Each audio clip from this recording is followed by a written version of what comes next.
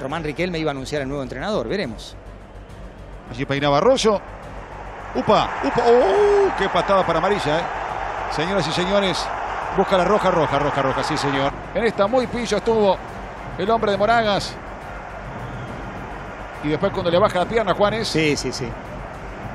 Sí, se iba de cara al gol y termina pegándole en la cara.